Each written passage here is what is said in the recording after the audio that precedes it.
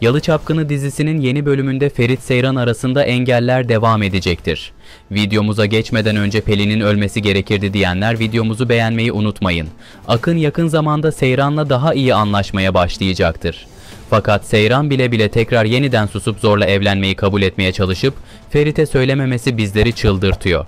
Ferit, Seyran'a duyduğu derin sevgiyi anlamaya başlar ve ilişkilerinin sağlam temeller üzerine oturtmak için geçmişiyle yüzleşir.